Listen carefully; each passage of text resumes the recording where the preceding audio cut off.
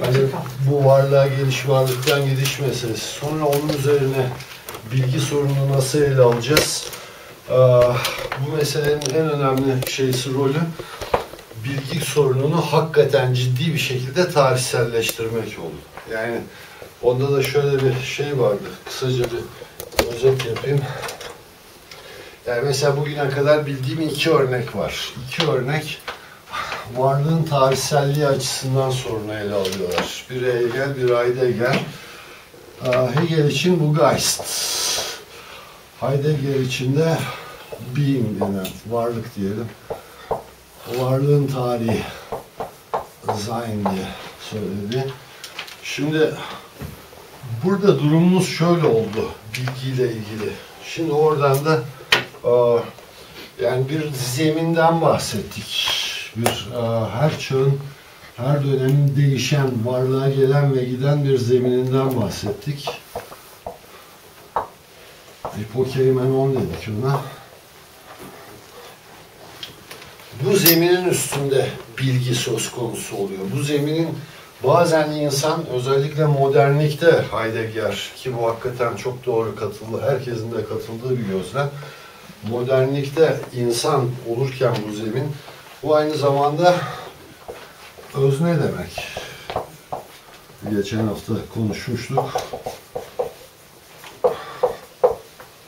Subject, subjektum Latince çevirisi doğrudan doğruya aslında altta uzanan demek. Yani bu alt, bu da uzanan demek. Burada da aynı şekilde hipo alt, keimenon uzanan demek. Yani şeylerin olanaklı olduğu zemin, şeylerin altında uzanan zemin anlamında kullanıyordu. Ve bunun Aristo varlığa gelip varlıktan gittiğini söylüyor. Şimdi durumumuz şöyle oluyor. Yani şunları yuvarlak yuvarlak çizeyim de e, şey olsun. Yani dönemin varlık zemini olarak düşünelim. Şimdi burada eski Yunan'da fusis, doğa. Burada Tanrı Hristiyan ya da İslam Orta Çağ için söyleniyor bu. En son olarak da insan modernlikte. Bu eski Yunan'da bu İslam ve Hristiyan Orta Çağ'ında bu da modern dönemde. Şimdi insanın bilgisinin durumu bunun içinde şöyle beliriyor. Şimdi Heidegger bunun sonuna bir de şey ekleyecek. Postmodern durum diyelim ama Heidegger'in dilinde postmodern diye bir şey yok.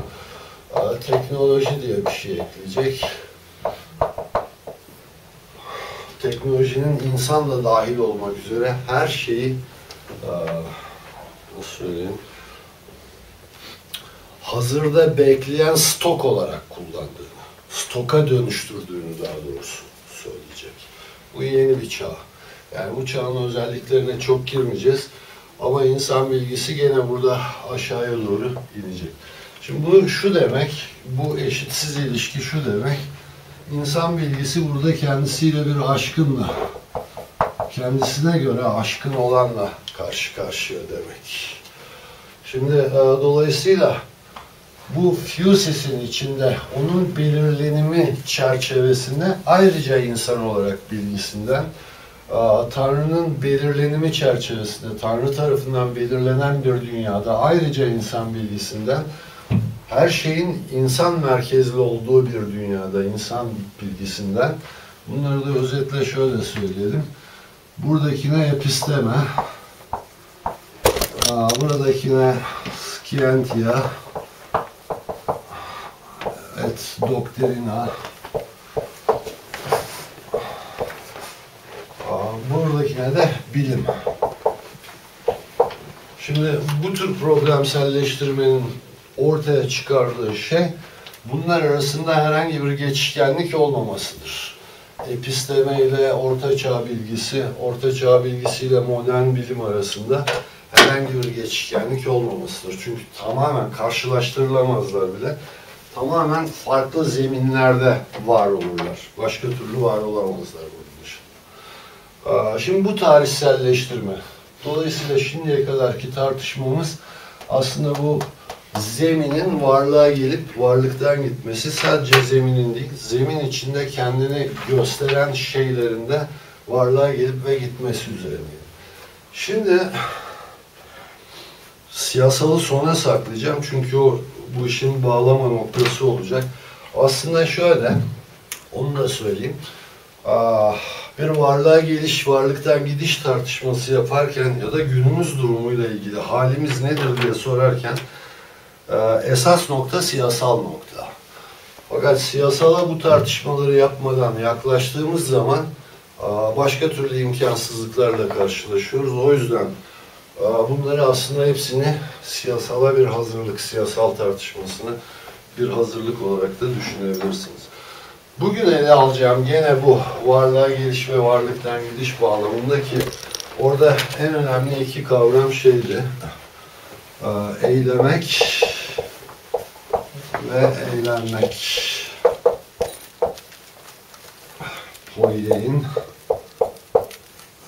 Hocam özür dilerim. Bir şey sorabilir miyim? Episteme ne, ne demek oluyor? Episteme ne ne demek oluyor? Ee, episteme çeviri olarak çevirilere bakarsanız bilim deniyor. Ama e, eski Yunan'daki anlamıyla bir bilimi anlamak lazım. Buradaki bağlamı bilim demek. Fakat şöyle söyleyeyim, bilim demeyelim de buna. Çünkü günümüz bilimiyle karıştırılması sakıncalı. Eski Yunan çağına ait yüksek bilgi diyelim. Yani eski Yunan'da olduğu kadarıyla varlık bilgisi, fizik ya da yani bu episteme aynı zamanda tekne denen şeyi de yani bir şeyleri yapıp etme bilgisini de içeriyor. Ama onunla sınırlı değil. Aslında eski Yunanlar onu şöyle tanımlıyorlar. Verili bir çalışma alanında ya da deneyim alanında tek tek deneyimlerin hem her birini birbiriyle hem de her birini tek bir genel prensiple bağlamayı hedefleyen bilgi diyebiliriz. Epistemeden anlayacağımız şey o. Bugün yani çevirilere baktığınız zaman bilim diye çevrilmesine rağmen bunun yanıltıcı olduğuna e, dikkat çekmek lazım. Zaten bu konunun uzmanları başta da Heidegger olmak üzere bu üç farklı grup bilgi tarzının, yüksek bilgi tarzının birbiriyle aslında uzaktan yakından hiçbir alakası olmadığını, bunun bundan çıkmadığını, bunun da bundan çıkmadığını rahatlıkla söyleyebiliriz. İkincisi için ne diyebiliriz? Scientia et doctrina ne anlama geliyor? Bunları çevirdiğimiz zaman gene çeviri işte yanıltıcı olacak. Çevirdiğimiz zaman bilim ve doktrin ah, anlamlarına geliyor ama ah, o çağdaki isimlendirilişini söylemek evet, için mi onları? Evet, orijinal isimlendirilişini, o çağdaki isimler. Çünkü bu, bu tip analizlerde çeviri çok tehlikeli bir şey. Hemen çünkü kendi dilimize, kendi anlayışımıza çeviriyoruz. Sadece basitçe e, sözcüğü Türkçeleştirmiyoruz. Aynı zamanda hem çağdaşlaştırıyoruz hem de kendi kafamıza uyduruyoruz. E, bundan kaçınmak için biraz. Bunlar tamamen farklı şeyler. Hatta buradan bakıldığı zaman daha önce bahsetmiştik bir Gaston Bachelor açısından şu dönem ah, olduğu gibi deli zırvalıklarıyla dolu bir dönem simyadan tutun bir sürü astroloji falan filan gibi şeylerin işin içinde olduğu, büyünün bol miktarda karıştığı bir alan burası. Bugünkü bilim dediğimiz şeyle hiçbir alakası yok yani. Burada da esas şimdi bir izleneceğimizde konu olacak esas iki kavram bu Poyer'in ve Pascal'in dediğimiz dedikleri. Bunları da çevirmekten yani Yunanca meraklısı olduğum için değil, çevirmek riskli olduğu için aa, kullanıyorum. Aa, kabaca eylemek, poiesis, eylem isim hali. Pascal'in üzerine eğlenmek ya da isim hali patos. Patos daha yani poiesis ve patos daha aşina olabileceğimiz terimler diye söylüyorum. Bunu bu sürece tabi olan şeylere Aristo ah, madde diyordu. Yani madde atomlardan falan oluşmuş değil Aristo açısından. Önemli olan tek kriter var. Eğleyebilen ve üzerine eğlenebilen bir şey olması madde. Bu çok kritik. Çünkü klasik materyalizm, idealizm ayrımını aşan başka bir yaklaşım bu. Yani idealar da bu anlamda, düşünceler de etki ya da inançlar da etkili olabildikleri ya da üzerine etki edilebildiği ölçüde maddi varlık kazanmış demektir bu yaklaşıma göre. Şimdi bugünün esas konusu siyasala da giriş. Zaten e, gene Aristo e, siyasal konusunu ele alırken e, pardon etik konusunu ele alırken Nikomakos'a Etik isimli kitabında bunun zaten siyasalın bir alt alanı olduğunu söyleyerek açar tartışma. Yani aslında siyasal burada da mevcut gördüğünüz gibi. Eylem, eylem halinde ve üzerine eğlenme halinde oradan doğruya aslında başından beri bilgiden bile bahsederken siyasal bir şeyden bahsediyoruz zaten. Varlıkların varlığa gelmesi ya da hipokeimenonun varlığa gelmesi ya da gitmesi kendi başına siyasal bir olay. Fakat buradaki temel kavramlarımız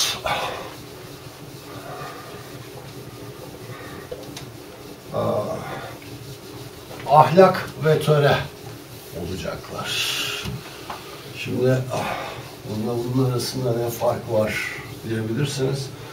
Ee, genel kullanımda aslında pek fark etmiyor günlük kullanım açısından. Fakat olaya biraz baktığımızda aslında günlük kullanımın e, oldukça yanıltıcı olduğunu görebileceğiz. Şimdi bu terimlerin töre, ahlak. Bunların birbirleriyle göreli ilişkilerini biraz incelemeye çalışacağız. Ve ne demek olduklarını sorgulamaya çalışacağız. genellikle şöyle söyleyeyim, çok yaygın değil ama doğru olarak töre etik is etiks olduğu zaman da töre bilim diye geçiyor. Ahlakta morality ya da Almancası moralitet. Evet diye geçiyor. Bunun Almancası da Sittlichkeit.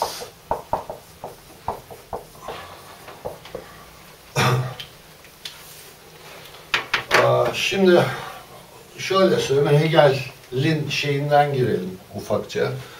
Küçük bir hatırlatması. Aslında bunun üzerine çok duracağı bir hatırlatma olacak hukuk üzerine yazdığı eserinde e, bu iki terimin yani ethics, etik ve morality terimlerinin e, birbirleriyle sıkça karıştırıldıklarını, özellikle Kant düşüncesi açısına geldiği zaman etikin moralite altında neredeyse yok edildiğini söylüyor. Ve bir hatırla, evet yani bu iki sözcük ne diye baktığımız zaman etimolojik olarak Sadece iki farklı dilden gelen ama aynı anlama gelen orijinalde ilk başlangıçta aynı anlama gelen iki sözcük. Etik sözcüğünün kökü etos. Daha önce patostan bahsetmiştik. Şimdi etostan bahsedeceğiz yani. morality sözcüğünün kökü de Latince. Bu eski Yunanca. Bu da mos, çoğulu da mores. Bunun çoğul olduğunu bunun üzerine bir işaret geliyor. Şimdi ne demek diye sorduğumuzda bu iki terim aslında köken olarak ikisi de bildiğiniz alışkanlık demek.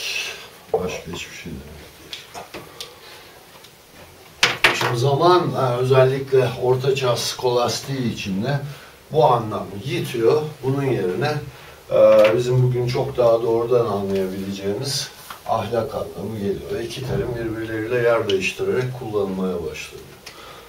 Şimdi Hegel bu hukuk üzerine kitabında bunun böyle olmaması gerektiğini, evet yani bu iki kök, sözcüğün köken olarak aynı kökten geldiğini, aynı şeyi ifade ettiğini ama kullanım sonucunda artık farklılaşmaya başladığını söylüyor. Özellikle de bu farklılaşmayı Aristo'daki şeye dayanıyor. Şimdi Aristo'daki bir kullanım. Şimdi önce isterseniz ona girmeden önce ahlak meselesine bakalım. Ahlak deyince aslında şöyle basitçe götürmeye çalışayım. Bir bilinç gerekiyor. Bilincin varsayılması gerekiyor. Bilincin varsayılması için bir insanın insanın varsayılması gerekiyor. Bu bilincin daha da önemlisi iyi ve kötü ile ilgili olması gerekiyor. Yani çok kısaca söylersek ahlak esas olarak insan bilincinde kendisine yer bulan iyi ve kötünün bilgisi anlamına geliyor. Esas kullanımı. Tabii ki insanı özne olarak görmek ve de insan bilincini, insan eylemliliğinin öncülü, öncesine yerleştirmek anlamına geliyor. Bu da bize klasik eylem kuramını veriyor. Klasik eylem kuramına göre bir eyleyici bilincinde bir idea geliştirir ve bu ideanın gerçekleştirilmesi için eyleme geçer ve bunu dışarıda gerçekleştirir. Bu eylemliliği sonucunda. Yani mesela çok klasik örnek Platon'dan bir mimar önce ev düşüncesini, fikrini kafasında oluşturur. Sonra buna göre harekete geçer, insanlar örgütler, yatırımını yapar vesaire, ağacını, demirin taşını ayarlar. Ondan sonra da bunların üzerinde çalışarak ortaya bir gerçek ev çıkarır. Yani orada eylem sonucunda idea gerçek eve dönüşmüştür. Şimdi küçük bir hatırlatma yapayım. Buna önümüzdeki hafta da değineceğim. Günümüzde genel geçer kabul ettiğimiz siyaset teorisi tam böyle bir şeydir. Yani siyasal aktör önce bir fikir etrafında oluşur. Bu fikri hayata geçirmek için eylemliğe girişir ve başarılı olursa sonunda a, siyasal hedef gerçekleşmiş olur. Şimdi bunun nedenlerini de önümüzdeki hafta daha çok tartışacağım. Bunun günümüzde artık çok geçerli olduğunu söyleyemeyiz. Siyasal aktörlerin kendi düşünsel dünyalarında kendi kendilerine kotardıkları hedefsellikler doğrultusunda buna telos deniyor. Yani telos eylemden önce eyleyicinin bilinç dünyasında olan bir şey. Dolayısıyla eylemin erekselliğini meydana getiriyor.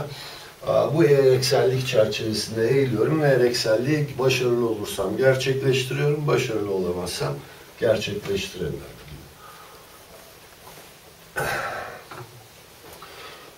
Dolayısıyla insan özneyi siyasalın merkezine yerleştiren, siyasalı insan öznenin üzerinden yürütmeye çalışan bir siyaset anlayışımız var günümüzde. Niye çalışmadığını sorup duruyoruz kendi kendimize. Çünkü özellikle 80'lerden sonra sadece Türkiye'de bütün dünyada siyasal konusunda ciddi bir sıkıntı ortaya çıktı. Bu da siyasal aktörün ortadan kaybolması. Yani klasik siyasal aktör dediğimiz şey mesela Marksistlere göre bir sınıf, işçi sınıfı e, ya da liberallere göre siyasal partiler giderek e, kitlesel aktörleri olmaktan çıktılar. E, günümüzde en çok işte çokluluktan bahsedebiliyoruz. Paryadan bahsedebiliyoruz. Herkesin işçileşmesinden bahsediyoruz. Ama bir türlü siyasal aktörü tespit edemiyoruz. Dolayısıyla burada ciddi bir zorluğumuz var. Şimdi bu zorla biraz yaklaşmaya uğraşacağım. Ahlak kavramı dolayısıyla bizi doğrudan doğruya buna götürüyor. Şimdi birinci varsayımına bakalım ahlak kavramının. Ahlak kavramının birinci varsayımı başka her şeyden bağımsız iyi ve kötü bunun olmasıyla alakalı. Yani ahlaklı insan dediğimiz şey iyi bilen, kötüyü de bilen ve buna göre iyi yapmayı seçen insan olarak beliriyor. Ama yani bu insanın durumuyla tarihsel koşullarla, şunlarla bunlarla alakalı değil. Bu insanın karar neyin iyi neyin kötü olduğuna karar vermesinin ötesinde bir yerde duran bir şey var. Hatta bunun o kaynağı da yani ilk iyi formülasyonu öyle söyleyelim. Platon'dan gelir biliyorsunuz. Republic Devlet kitabında, devlet diye çevirmişlerdi. Devlet kitabında bu iyi ve kötünün nasıl bilinebileceği üzerine, insan tarafından nasıl bilinebileceği üzerine tartışır. Bir de nasıl biçimler, formlar, kalıplar, kalıplar daha güzel diyor. Kalıplar kuramı diye meşhur olmuş bir kuramı var. Yani Eidos denen yanlış anlaşılma olmasın diye yazayım. Genellikle de idea diye Türkçe zamanında çok çevrilmiş olan şey. Ama bunun yani insan düşüncesindeki ideadan, fikirden tamamen ayrıştırılması lazım. Bunun varoluş zemini, durduğu yer insan düşüncesi zihniyle hiç alakasız bir yer. Çünkü Platon'a göre gerçek varlıklar bunlar. Yani şu bizim içinde yaşadığımız dünya gelip geçici, fani bir dünya. Dolayısıyla buradaki hiçbir şeyin öğrenilmeye, bilinmeye değer bir yanı yok. Buradaki şeyler olsa olsa en iyisinden bu gerçek varoluşlar olarak kabul edilen kalıpların a, mükemmel olmayan kopyaları halinde. Yani bu kalıpların içine maddeyi basan bir yarı tanrı, bir ustabaşı tanrı var bir efsanesine göre anlattı. Bu böyle maddeyi kalıplara basıp basıp dünyaya saçıyor. Dolayısıyla bir formlar dünyası ya da kalıplar dünyası diye bir şeyden bahsediyor Plato. Özellikle sadece Republic'te değil, diğer başka metinlerinde de onu da kısaca şöyle canlandırmaya çalışayım. Bu biçimler dünyası yani gerçek varoluşlar dünyası ee, gerçek var olmayışlar dünyasından yani fenomena ya da fantasya dediği e, görünümler dünyasından e, ciddi bir şekilde ayrılıyor. Bu ayrılma noktası mesela insan için ruhunun bedenle birleştiği yer. Yani doğum anında ruhumuz bedenimizle birleşiyor ve biz ruhumuz daha doğrusu formlar dünyasından düşerek e, bu görünümler, uyduruk görünümler dünyasına geçiyoruz. Bu geçişte de meşhurdur, anamnesis diye bilinir. Ciddi bir unutuş var. Ruhumuz buradaki deneyimleri unutuyor. Halbuki buradayken ruhumuz bu kalıplarla ruhumuz bu arada geziyor Fedrus e, diyaloğunda mesela insan ruhunu tanrıların ruhunu iki kanatlı, bir çift kanatlı atın çektiği bir arabaya benzetir. Bir at arabası düşünün. İki tane at koşulu. İkisinde de kanat var. Bu formlar dünyasında ya da kalıplar dünyasında. Dolayısıyla tanrıların ruhu serbestçe uçabiliyor ve en yükseğe kadar gidebiliyor.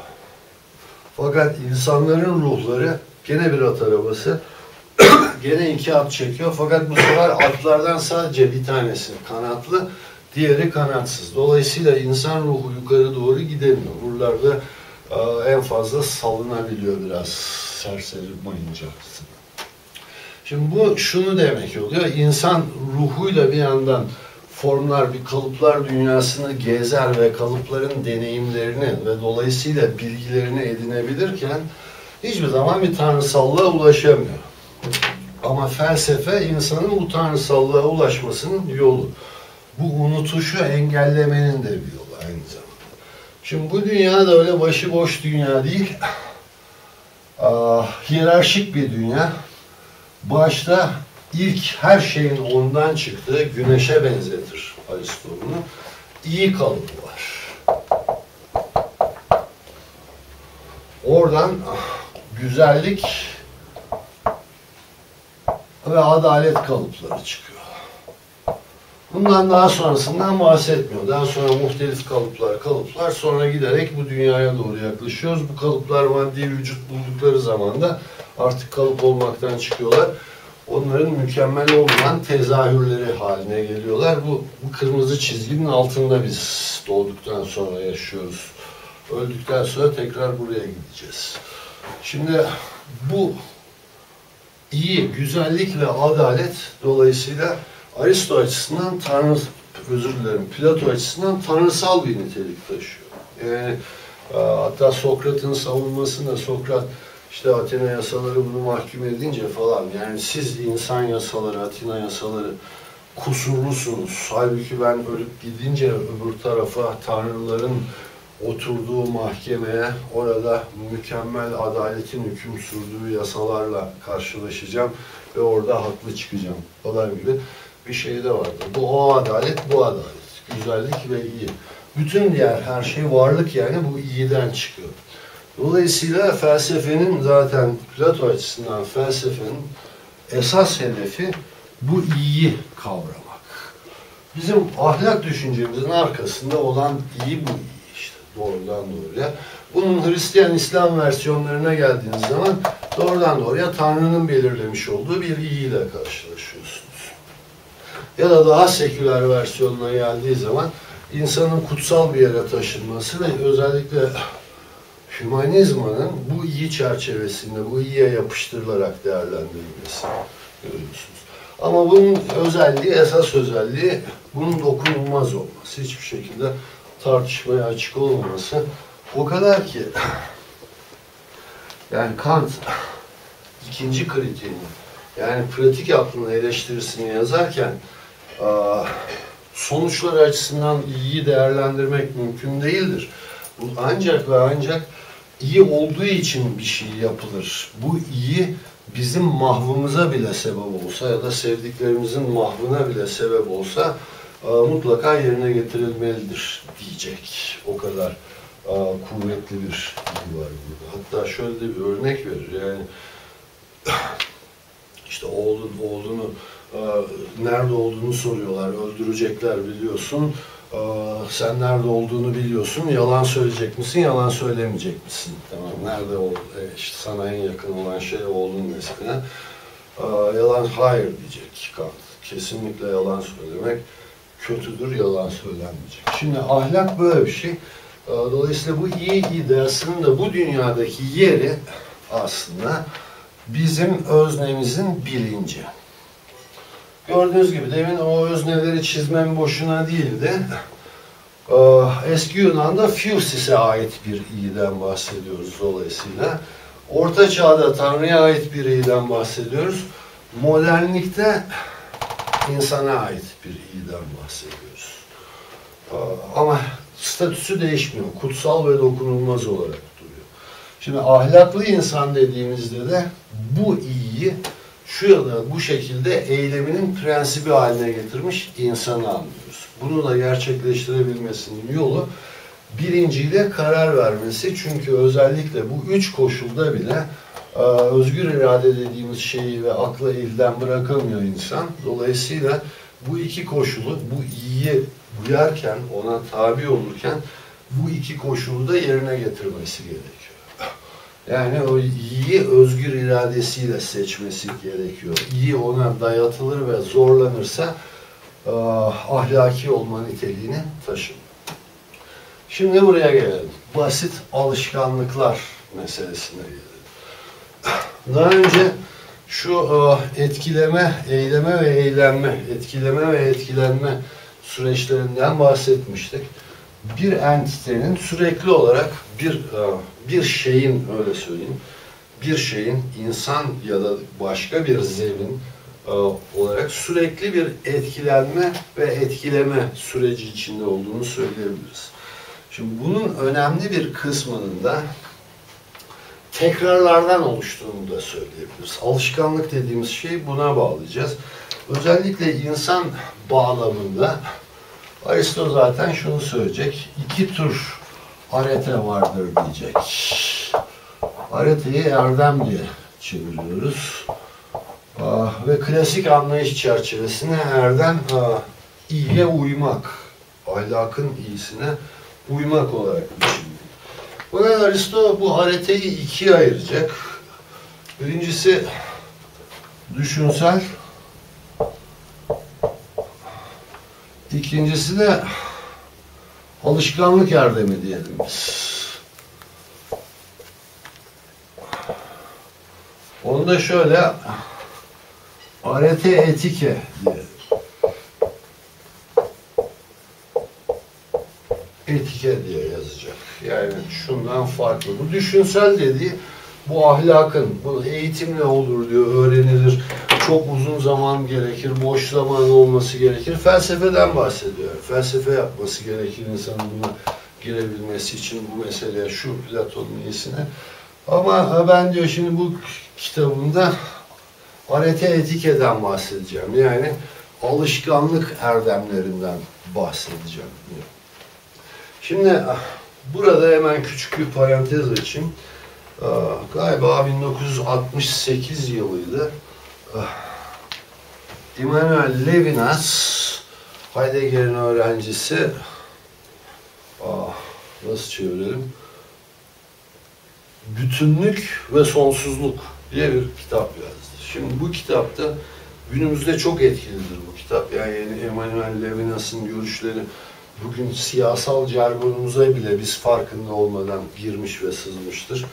Mesela farklılıklara saygı gösterelim, onları hoş karşılayalım derken aslında Levinas'ın doktrini çerçevesinde hareket ediyoruz. Fakat Levinas'ın esas isyanı Heidegger'in de öğrencisidir. Çok da sever idi. Heidegger Nazileri destekleyince İkinci Dünya Savaşı yani 1933-35 arası e, büyük bir hayal kırıklığı içinde bir de ailesi de İkinci Dünya Savaşı'nda çok sıkıntı çekmiş bir Yahudi. Esas iddiası şöyle bir şey. Şimdiye kadar bütün Batı düşüncesi, Batı derken dediğim gibi yani bu gelenek içinde aslında Batı Avrupa'yı kastetmiyoruz. Batı düşüncesi derken Yahudi, Müslüman, Hristiyan gelenekten bahsediyoruz. Bütün Batı düşüncesi şimdiye kadar metafizik ya da eş anlamlı kullanılıyor burada. Ontoloji ve birinci felsefe, birinci düşünce olarak ele alınıyor. Farkındaysanız biz de aslında bu sunum serisine bununla başladık. Sonra bilgi meselesini sorun ettik. Şimdi etik meselesini sorun ediyoruz. Birinci felsefe yani dünyayı etrafı şeyleri